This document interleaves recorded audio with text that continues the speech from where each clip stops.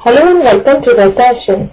In this session, we'll explain how the unit circle in the coordinate plane enables the extension of trigonometric functions to all real numbers interpreted as radian measures of angles traversed counterclockwise around the unit circle. Now in our earlier session, we had discussed about radian measure of an angle and how to convert radians into degrees and degrees into radians. Now let us recall 1 degree is equal to pi by 180 radians. Now by using this result, we can convert any degree measure into radian measure. Let us see some important radian measures. Now 30 degrees is equal to 30 into pi by 180 and this is equal to pi by 6. Then 35 degrees is equal to 45 into pi by 180 which is equal to pi by 4. Similarly, 60 degrees is equal to 60 into pi by 180 which is equal to pi by 3 and 90 degrees is equal to 90 into pi by 180 which is equal to pi by 2. Similarly, 180 degrees is equal to pi, 270 degrees is equal to 3 pi by 2 and 360 degrees is equal to 2 pi. Now let us draw a unit circle with center having coordinates 0, 0. Now let us draw radius OP from center O on this horizontal line that is the x-axis. Now OP is 1 unit as it is a unit circle which means circle with radius 1 unit. Now moving in anti-clockwise direction we reached at point P dash where central angle is 30 degrees. This is the radius subtending angle 30 degrees. So its radian measure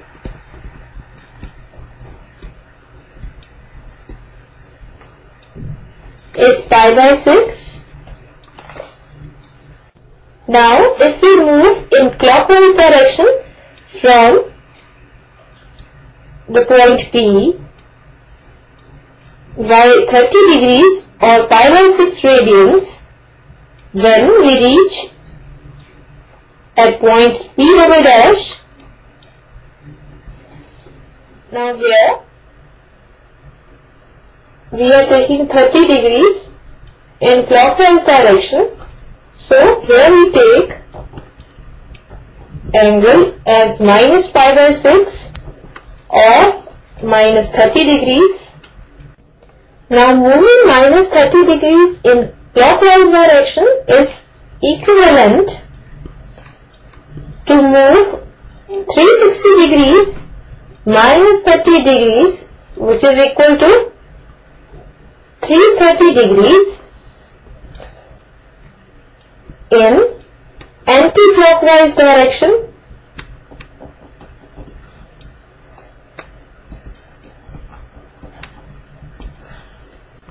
Or equivalently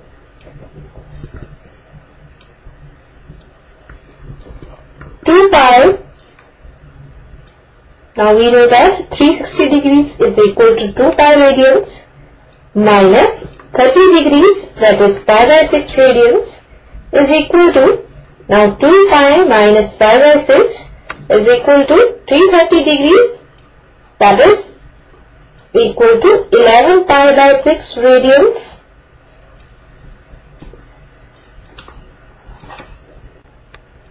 In anti-clockwise direction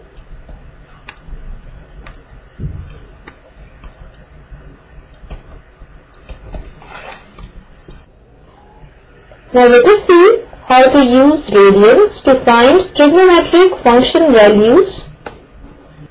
Now first we find coordinates of any point on a unit circle in terms of trigonometric ratios. Now let this point be M. Now here we have OP is equal to 1 unit where P is on x-axis so its coordinates are 1 0. Now from this point we have moved counterclockwise to reach point M. So here let us join OM. Now let the angle subtended be theta. Now from the point M we draw a perpendicular on x-axis and this perpendicular meets x-axis at point M. Now triangle ONM is right angle triangle with OM as hypotenuse which is equal to radius of the circle that is 1 unit. Now let ON be x and mn be y. Now we want to find coordinates of m. We have moved x units horizontal and y units vertical. So its coordinates are x, y. Now in triangle ONM, cos theta is equal to adjacent side upon hypotenuse which is equal to ON upon OM that is equal to now we have taken ON is equal to X and OM is equal to radius of the circle that is 1 unit.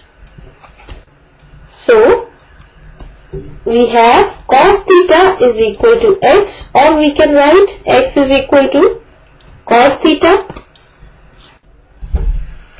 Now in this triangle that is triangle ONM sin theta is equal to perpendicular upon hypotenuse now here perpendicular is MN upon hypotenuse is OM. So this is equal to y upon 1. So we have sine theta is equal to y or we can write y is equal to sine theta. So we have x is equal to cos theta and y is equal to sine theta. So Coordinates of any point on a unit circle are given by cos theta, sin theta. Now in triangle ONM we have tan theta is equal to perpendicular upon adjacent side which is equal to MN upon ON which is equal to y upon x. Now we know that y is equal to sine theta and x is equal to cos theta. So this is equal to sine theta upon cos theta. Now we know that secant theta is equal to 1 upon cos theta.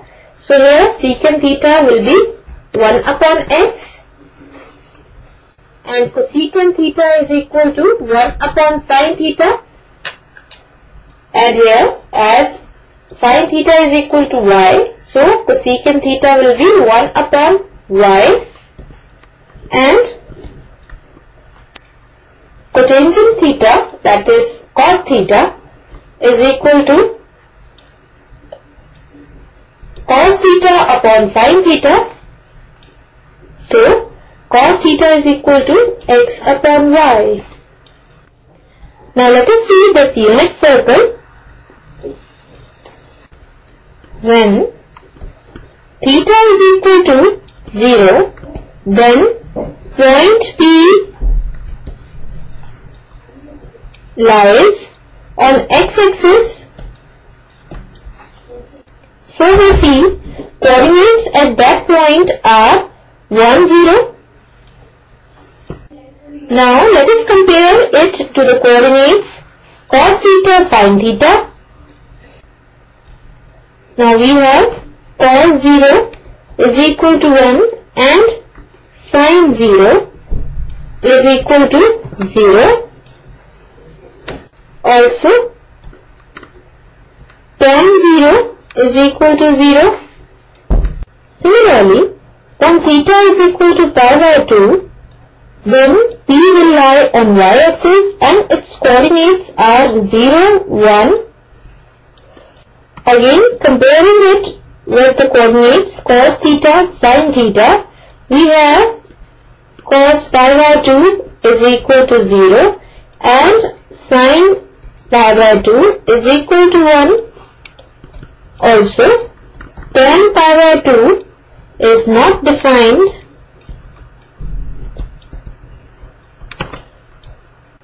Similarly, when theta is equal to pi, then the point P will lie on negative x-axis and its coordinates are minus 1, 0. And comparing it with the coordinates cos theta, sin theta, we have cos pi is equal to minus 1 and sin pi is equal to 0. Also you must note that the signs of the trigonometric ratios will depend on the signs of x and y according to the quadrant in which they lie. Now let us find all the six trigonometric ratios for angle 3 pi by 4. Now 3 pi by 4 is equal to 135 degrees which lies between 90 degrees and 180 degrees. Now let us draw the unit circle that is circle with radius 1 unit and this circle has center at origin with coordinates 0, 0. Now the angle is given to us as 135 degrees. So the terminal side of the angle is in second quadrant which makes 135 degrees angle in anti-clockwise direction. So this is the terminal side. Now let this point be M such that OM is equal to 1 unit. Now let us draw a perpendicular from the point M on x-axis. So we have drawn perpendicular from point M on x-axis and this perpendicular meets x-axis at point M so we have a right angle triangle ONM. Now we have to find theta. Now this total angle is 180 degrees. Now let this point be P. So we have angle MOP is equal to 135 degrees.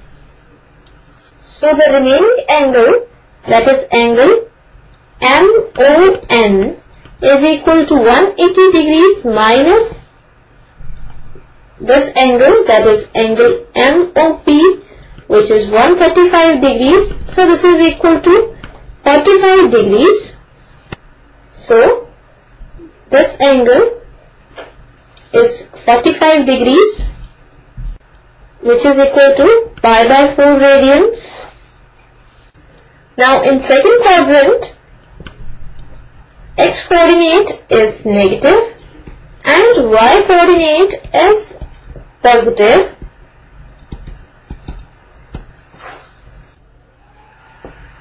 Now we know that x is equal to cos theta. So here in second quadrant, cos theta will be negative and also we know y is equal to sine theta. So in second quadrant, sine theta will be positive. Now here we have reference angle is equal to 45 degrees. So here sine 45 degrees that is sine pi by 4 is equal to 1 by root 2 and cos pi by 4 which is equal to cos 45 degrees is equal to 1 by root 2. Now in second quadrant cos theta will be negative. So here x is equal to minus 1 by root 2 and sine theta will be positive. This means y is equal to 1 by root 2. So in second quadrant, ordered pair xy is equal to ordered pair minus 1 over root 2, 1 over root 2. Now here, the given angle is 3 pi by 4 so x is equal to cos 3 pi by 4 and y is equal to sine 3 pi by 4. Now here we have ordered pair xy is equal to ordered pair minus 1 by root 2, 1 by root 2. So x is equal to cos 3 pi by 4 is equal to minus 1 by root 2 and y is equal to sine 3 pi by 4 is equal to 1 by root 2. Now tan 3 pi by 4 is equal to y upon x which is equal to 1 upon root 2 whole upon minus 1 upon root 2 and this is equal to minus 1. Now cot 3 pi by 4 is equal to x upon y which is equal to minus 1 upon root 2 whole upon 1 upon root 2 and this is equal to minus 1 then secant 3 pi by 4 is equal to 1 upon x which is equal to 1 upon minus 1 by root 2 and this is equal to minus root 2 and cosecant 3 pi by 4 is equal to 1 upon y which is equal to 1 upon 1 by root 2 and this is equal to root 2. So, we have found all the six trigonometric ratios for angle 3 pi by 4. So, in this session, we have discussed how to find trigonometric function values using radians. And this completes our session. Hope you all have enjoyed the session.